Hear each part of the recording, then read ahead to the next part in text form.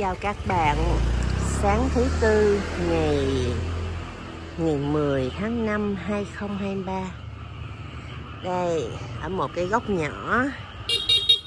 Góc rất là nhỏ luôn Mà có rất là nhiều cây của trời cho nha.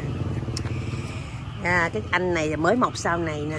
Này ta gọi là lạc tiên Hay là nhãn lồng nè. Hôm nay thấy hoa nhãn lồng xinh quá có cái ý tưởng là sẽ à, đem mấy em nhãn lồng này à, bỏ vô cái hồ thiên nga cho nó đẹp cho nó thay đổi không khí mà.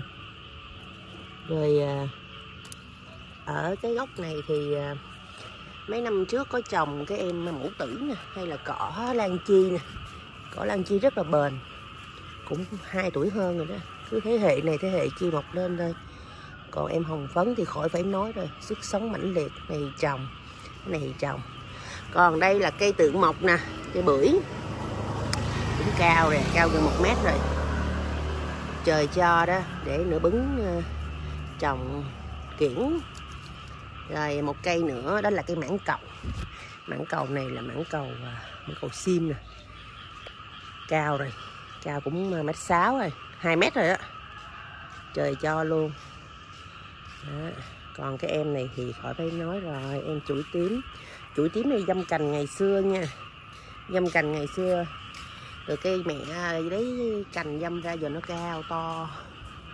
Chuỗi tím thì à, thu hút rất là nhiều bướm ong đó, hôm nay hái mấy cây hoa lạc tiên để vô hồ thiên nha cho đẹp. Rồi mời mọi người ngắm hoa lạc tiên trong hồ thiên nha nhé.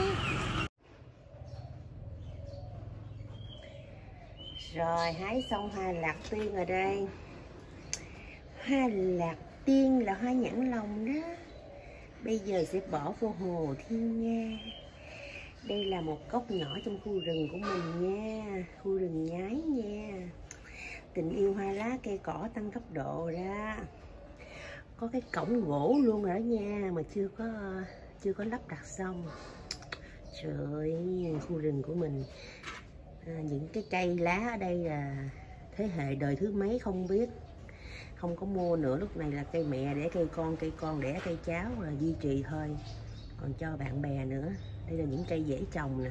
Và những cây này ở trong mát vẫn sống rất là tốt bạn bè nào mà à, chơi cái trò cây cỏ rồi đó có thể trồng những em này nè. Đầu tiên là em này là ai cũng biết nè. Mẫu tử hay là còn có gọi là cỏ lan chi, có người gọi là quấn khách gì đó. Nó có nhiều loại nha, nhưng mà cái loại này mình thích nè. Cây ờ, trắng sọc, cái xanh ở trong sọc trắng ở ngoài nè. Cái này nó bụi nó phải to lắm đó. Và cái cây con của nó cũng dễ trồng lắm. Đây, cây con nè. Một cây con nhỏ như vậy mà để lớn như cái bụi này cũng mất vài tháng chứ không không ấy đâu, nó còn to nữa. Cây này mình có làm clip về hoa này đó cây bơm cái này. Còn em này thôi dễ cực kỳ. Mình đem mấy cái quán cà phê thay ờ, trồng cái này nè ở trong mát cũng rất là tốt. Trồng thủy canh cũng rất là tốt luôn à, trồng trong nước á. Nó gọi là ngọc ngân ha rất là dễ trồng luôn. Thôi, cái này dễ lắm. Đó. rồi lan ý cũng dễ trồng nữa nè. Em này là bảy sắc cầu vồng cũng dễ trồng nè. Này lá vàng lá bạc cũng dễ trồng nè à, ở trong đó thì nhiều cây nữa. Đinh lăng thì dễ trồng khỏi nói rồi. Ôi, em này tự mọc trồng đầm rau làm cảnh luôn. Em này trời cho là không biết là cây gì nên nhưng mà cũng rất là dễ trồng nè. À, ở trong sâu sâu nữa nói chung ờ, cái nhóm mà mấy cái cây dạng này dễ trồng lắm. Gừng nghệ củ ghiền là ghiền bụi ghiền nè. Rồi à, hạnh phúc cái nhóm mấy cây này nè. À, chuối mỏ két. Đó, mấy cây này rất là dễ trồng trong mát cũng được.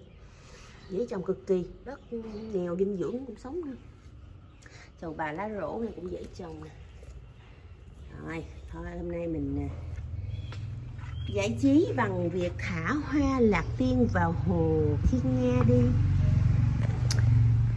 À, lúc này là có nhiều tổ à, chim thu hút chim trời á nói chung là vườn là cũng thu hút được à, ba em chim trời nha. Nhưng mà tại vì không có cái em nào sống được à, không có không có làm clip cho mọi người ở xa xem. Chỉ có bạn bè thân thích nha. Nói chung là bạn bè kết bạn facebook biết thôi. Chim sẻ con à, rớt từ trên tổ trên cây cục điện xuống nè thì không may mắn bị xe bảy chỗ nó kén, rồi chôn rồi chim cu gáy à, già mù mắt. Bay một buổi chiều đâm vô cái à, hàng rào nhà hàng xóm mấy đứa nhỏ nó nó bắt được.